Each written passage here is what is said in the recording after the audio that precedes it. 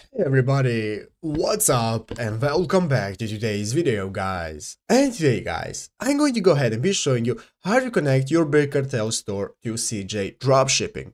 This is a very simple thing to do guys, so make sure to watch this quick and easy video till the very end and follow my steps correctly so you can make sure this works the same for you and that you can do this yourself. But yeah guys, let's get straight into it.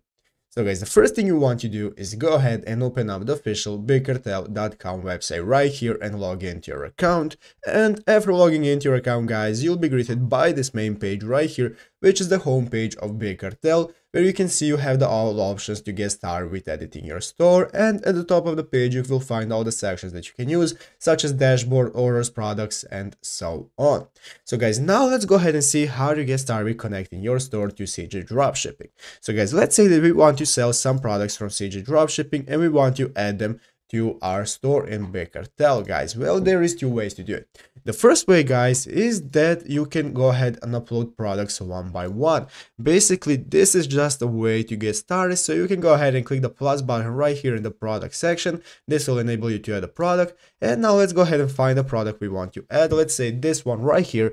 Uh, go ahead and open up the product that you want to add. As you can see, I'm going to add this product. And guys, basically what you're going to do is just go ahead and copy the name click the product name right here, put the description. You're going to go ahead and download the video or image that you have. Go ahead and download this image by right clicking and clicking save image. After that guys, go back to Big Cartel and click the plus button right here to go ahead and add an image and so on. So guys, that is one way. After you're finished, just go ahead and click on save and you will be able to add the product.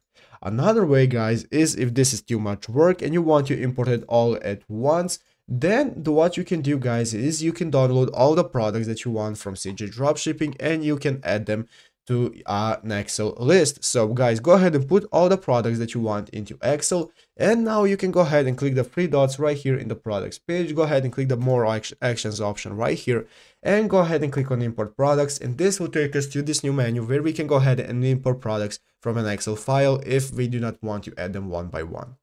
Well guys, basically those are the only two ways you can do to connect your uh, store to CJ dropshipping because Big Cartel doesn't allow any other way. Well guys, that's how you do it. So I hope this video was helpful. If it was, make sure to leave a like and subscribe to the channel. So guys, thanks for watching, take care and bye.